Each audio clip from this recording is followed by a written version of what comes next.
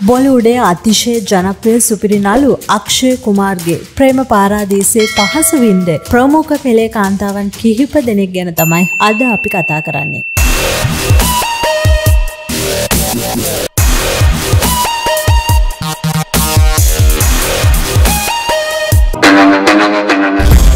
අක්ෂය කුමාර් සහ පූජා බත්‍රා. අක්ෂය සහ පූජා බත්‍රා කියන්නේ සිනමා කර්මාන්තයට සම්බන්ධ වෙන්නත් කලින්ම පෙම්වතුන්. පූජා එවකට ජනප්‍රිය නිරූපිකාවක් සහ බොලිවුඩ් නිලියක් වීම නිසා අක්ෂය කුමාර් බොලිවුඩ් සිනමාවට එන්නේ. පූජගේ මේ ජනප්‍රියතාවය උදව්වෙන්. එහෙම සිනමාව ජයගත් අක්ෂය වසර ගණනාවක තිබුණ පෙම නිම කරලා තමන්ගේ බොලිවුඩ් සිහිනය ජය ගන්නවා. අක්ෂය කුමාර් සහ අයේෂ ජුල්කා. අක්ෂය කුමාර්ගේ ඊළඟ කුරුමානම වුණේ අයේෂ ජුල්කා. කිලාඩි චිත්‍රපටයෙන් එක රයින් ජනප්‍රිය වූ මේ දෙන්න එක දිගටම එකට රඟපාන්න ගිහින් පෙම්වතුන් වෙනවා. කොහොමින් කොහොම හරි මේ පෙමටත් වැඩිකල් නොගොස් කන කොකා හඬනවා.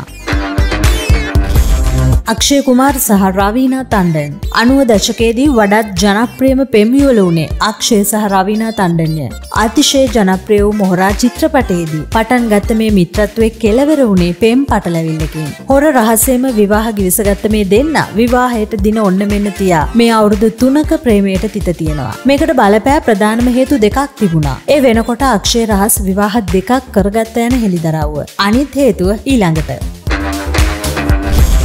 අක්ෂය කුමාර් සහ රේකා අක්ෂය රවීනා ප්‍රේමයට තිත තියෙන දෙවන හේතුව වෙන්නේ සුපිරි නිලි රේකාගේ තිබුණ ආදරය.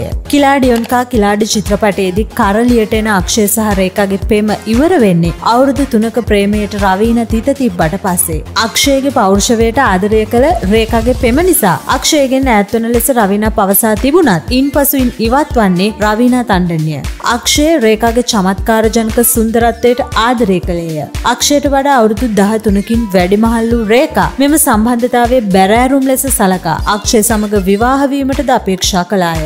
ඔවුන්ගේ කිලාඩියොන්කා කිලාඩි චිත්‍රපටය සුපිරි චිත්‍රපටයක් බවට පත් වූ පසු අක්ෂය රේකාව මගහැරීමට පටන් ගත්තේය. අක්ෂය කුමාර් සහ ශිල්පා ශෙට්ටි. අක්ෂය සහ ශිල්පා ඔවුන්ගේ සම්බන්ධතාවය මාධ්‍යයෙන් සංගවාගෙන සිටි අතර. වසරකට අසන්න කාලයක් එකට සිටීමෙන් පසු ශිල්පා ශෙට්ටි නිවත් වන්නේ. අක්ෂය කුමාර් තමන්ගේ හොඳම මිතුරිය වූ ට්විංකල් කන්නා සමඟ දෙවරක් කාලය ගත කළ බව දැනගත් නිසාය. ගලවන්න බැරි ගැටයක හිරවුණ අක්ෂය කුමාර් අකමැත්තෙන්වත් ට්විංකල් කන්නව විවාහ කරගන්නවා. ඒකට බලපාපු ලොකු හේතුවක් තිබුණා. මේ වීඩියෝවේ අවසානය බැලුවොත් ඔබට තේරේවි ට්විංකල්ව බඳින්න අක්ෂයට බලපෑ ප්‍රධාන හේතුව මොකක්ද කියලා.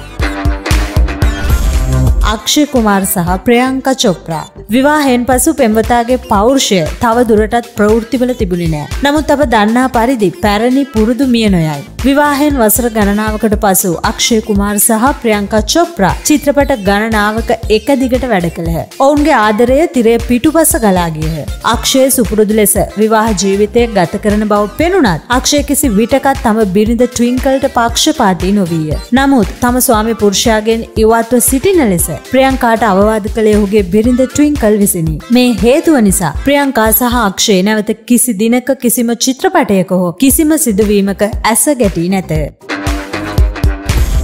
අක්ෂය කුමාර් සහ කැට්‍රිනා කයිෆ් හම්කෝ දිවානා කරුගයේ නමස්තේ ලන්ඩන් වෙල්කම් සහ සිංහ ස්කීන් වැනි චිත්‍රපට බොහොමයක එකට වැඩකිරීමෙන් පසු ලන්ඩන් රූරජන වෙන කැට්‍රිනා කයිෆ් සහ කිලාඩි අක්ෂය කුමාර් මිතුරෙකුට වඩා වැඩි බවට බොලිවුඩේ විවිධ කටකතා පැතිරගියේ තවත් පෙම් පටලැවිල්ලක ආරම්භයත් සමගය.